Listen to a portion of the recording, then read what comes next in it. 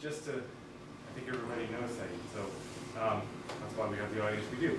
But um, this is the, the final exam, the final PhD defense for Syed Islam.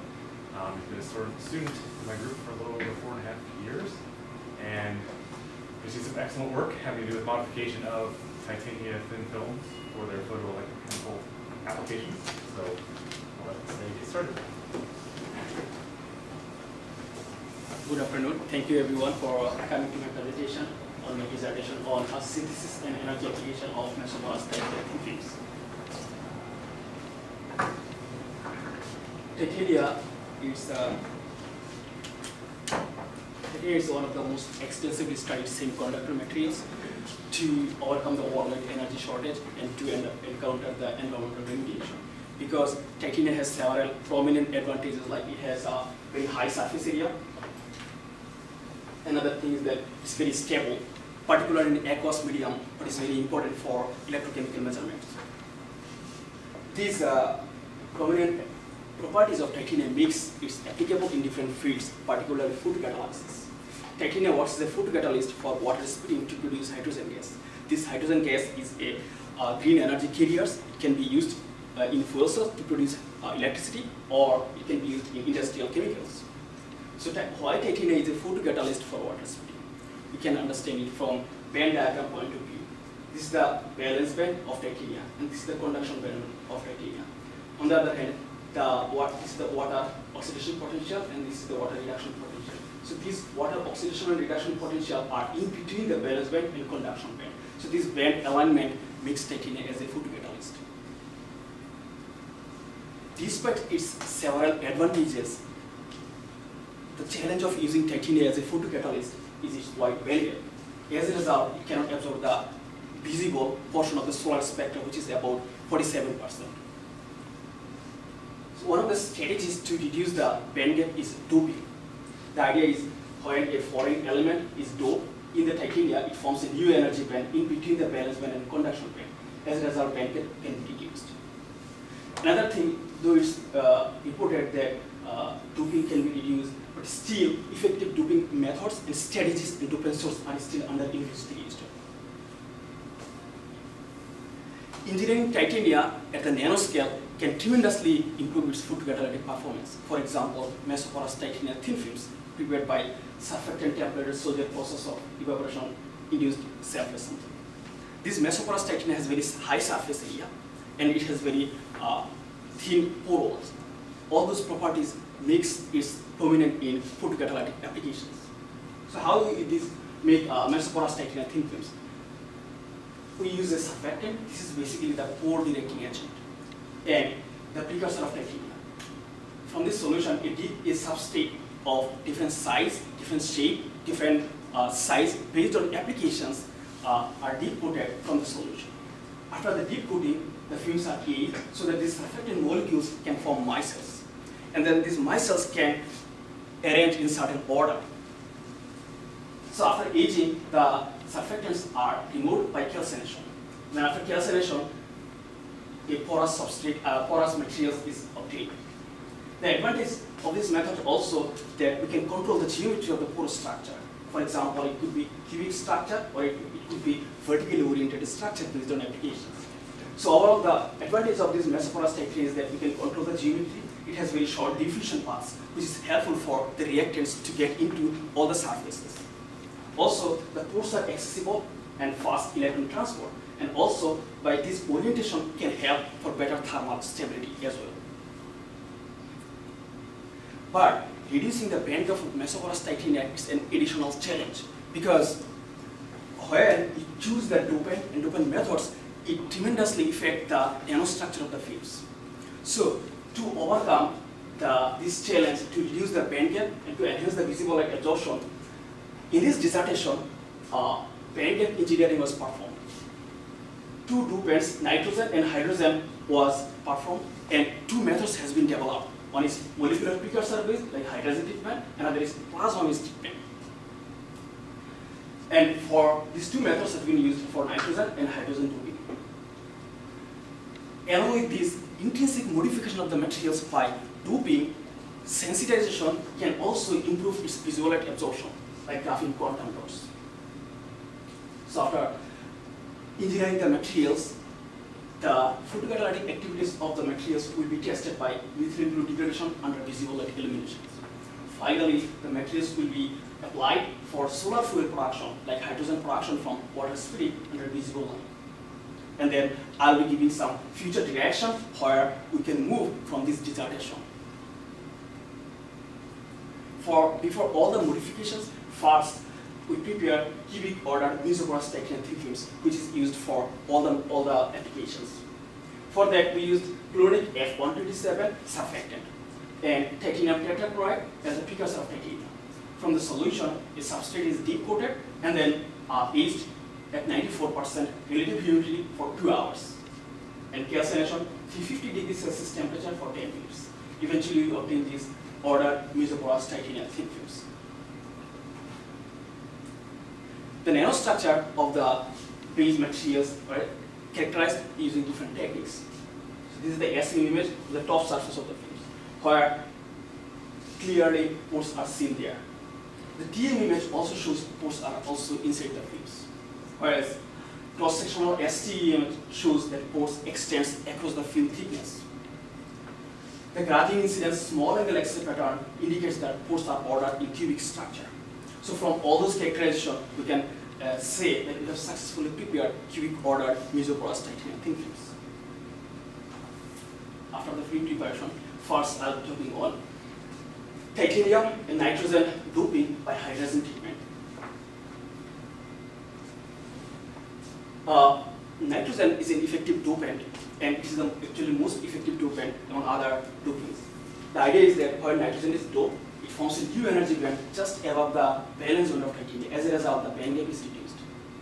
It's been reported that if titanium can be reduced, a Ta3 plus state can be formed in it, and then just below the conduction band. So the band gap can be even reduced.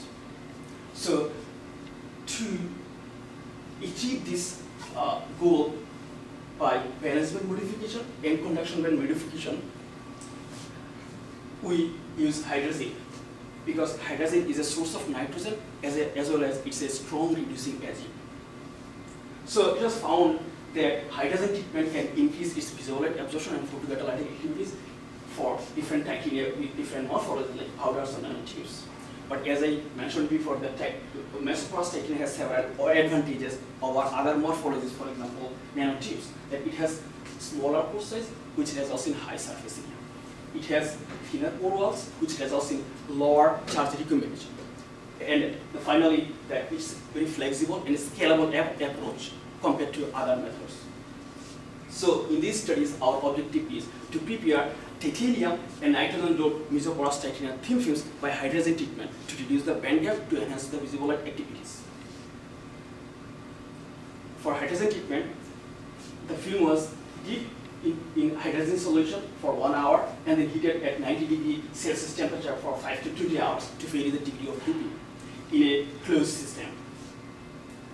The visible spectra indicates that the indicates the redshift or the primary peak of the dope films. That means it can absorb, I mean, doping happened and it can absorb more light. In addition, it absorbs light across the visible region. In the inside, it shows that the dope film shows higher visible light compared to under titanium. That is basically the mid-gap state formation due to Ta3 uh, formation due to hydrazine treatment. And then its photocatalytic activities are tested by methylene blue degradation under uh, blue LED, which is a visible light. So this is the concentration profile. So it shows that all the dope films has higher degradation compared to under titanium. And then the kinetics of the degradation was studied by first order reaction kinetics. So this is the rate coefficient versus hydrazine treatment time. It shows that the reaction rate increases with increasing hydrazine treatment time till 10 hours with this maximum and it shows three times higher compared to undoped titanium. This is great. However, when we increasing the hydrazine treatment time, you see the rate coefficient decreases. But hypothetically, it's not. It is supposed to keep increasing as long as we increase the hydrazine treatment time. As you know that the visible light absorption is important, at the same time surface area is very important for reactions. So we think that long-term hydrazine treatment time might cause trouble with the nanostructure, which is characterized by SEM imaging. So this is the SEM image of titanium films treated at different times of hydrazine treatment. It looks that the pore walls increases, pore size decreases, and as a result, pore blocks over the hydrazine treatment time.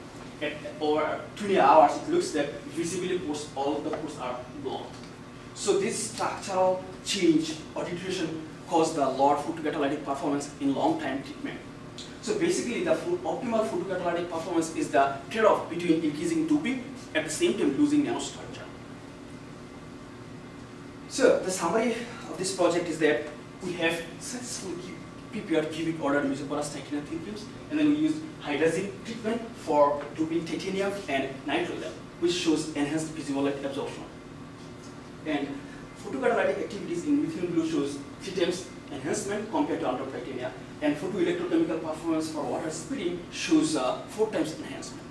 So these studies show that hydrazine as a source of nitrogen and titanium 3 plus is an effective method for uh, band gap reducing but, and photocatalytic activities, but there is an optimum dose where we can get the uh, best performance.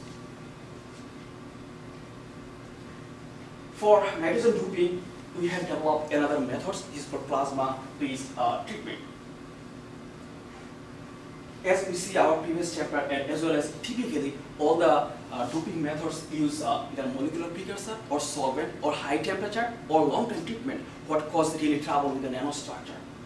From all those methods, plasma-based doping stands out uh, in that it produces very reactive dopant species and another most important is that it also works at relatively low temperature so that the nanostructure of our uh, materials can be maintained.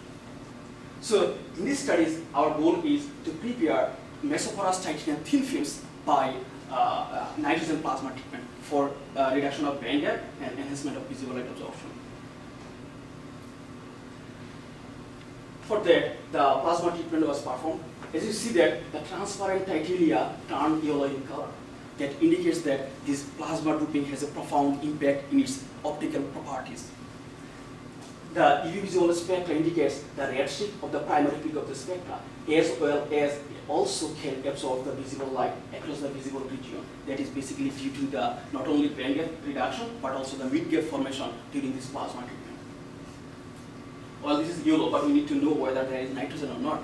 Well, for that, we did XPS. So this is the XPS peak, the pure titanium did not show any peak, but low titanium did. And the binding energy is 397. Basically, this is for substitution nit nitrogen. So it is important to note here that substitution nitrogen is very important for uh, this doping because doping can be two types, interstitial doping, substitution doping. In the literature, there are many dopant like uh, interstitial, but which is not very good at uh, photocatalytic activities and also what's the recombination center. On the other hand, substitution of nitrogen is responsible for band gap reduction and photocatalytic, photocatalytic activities, what we achieve in our materials. And also, so uh, the maximum here, the nitrogen content is 3.25 substitution of nitrogen. And then we tested its photocatalytic performance by methyl blue degradation. So here, uh, the rate co coefficient versus plasma treatment time. The plasma treatment time uh, the rate coefficient increases. And at 150 minutes, the uh, rate coefficient is maximum, which is six times higher compared to endoplatinum. So this is great because this surpasses the previous literature where they showed only two to three times for plasma treated titanium nanotubes. That indicates the effectiveness of our mesoporous titanium materials. But similarly here, when we keep increasing the plasma treatment time, the reaction rate goes down. So here also we think that long-term plasma treatment time might cause trouble with the nanostructure, which we investigated by SEM. So here, the different SEM images of uh, different uh, films using plasma treatment, like the 210 minutes, what should the lowest performance. So here we, we see that the pores fused with each other. That is due to the sintering effect. Basically, that might be due to the high energy nitrogen species for long-term exposure or the temperature reached during this plasma treatment. So this structural deterioration causes uh, the lower catalytic performance in long-term treatment. So here also, the optimal performance is basically uh, the trade-off between increasing doping and losing the nanostructure. So the summary of this project is that uh, nitrogen plasma provides a rapid and effective method for preparation of uh, nitrogen doping and it makes titanium yellow that indicates that it can absorb the visible light. And methylene blue degradation shows the six times enhancement compared to undoped titanium. So basically this plasma is an efficient way to incorporate heteroatoms into solvent-derived metal oxide for its optoelectronic properties and catalytic activities improvement. Well, since uh, the plasma treatment works really good, we apply these materials for hydrogen production from water splitting. So now I'll be talking on water splitting using this plasma treatment titanium. So it is important to note here that this is the first report on using mesoporous titanium for water splitting under visible light illumination. And we uh, like these uh, materials for photoelectrochemical uh, water splitting. For photoelectrochemical deposition uh, system, the mesoporous titanium needed to be deposited onto a conductive substrate like uh, FTO. But the first challenge we faced here is that uh, the FTO slides were not stable under the plasma condition we used in our previous chapter. So for these studies, the plasma condition had to reassess again. And then we successfully prepared uh, nitrogen doped mesoporous titania onto the conductive substrate. And then applied for water splitting. So this is the water splitting performance, uh, current versus time. So you see, in that condition, the, do, uh, the film did not really show any significant current. But when the light was turned on, the current increases. And it is increasing over uh, with the nitrogen flow into the plasma chamber. And the maximum photocurrent we observe, this is 92 times compared to undoped titanium. Well, this is a very excellent result, 92 times enhancement, because it greatly surpasses the previous literature, which shows two times enhancement for plasma-treated titanium nanotubes. This really indicates the Mm, the advantages we are showing here for mesoporous titanium is surface area, porous structure, uh, thin wall, wall. But you know, we use here uh, halogen bulb. Halogen bulb is a broad spectrum, but it is important to understand the material's photoresponse under wavelength dependent properties. So for that, we use different light sources. Solar simulator, UV LED, blue LED, and green LED with distinct wavelengths. Under all those light sources, the doped titanium shows higher photocurrent compared to undoped titanium. And the enhancement we observe here, 70 times under solar simulator, 242 times under blue LED, 191 times under blue LED. So here also it shows enormous photocurrent compared to undoped titanium. Interestingly, undoped titanium doesn't show any photoactivity under green LED.